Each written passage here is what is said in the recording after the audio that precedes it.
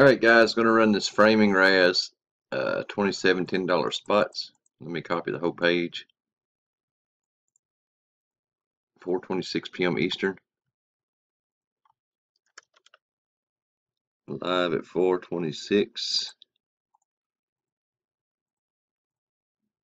Going seven times. Good luck.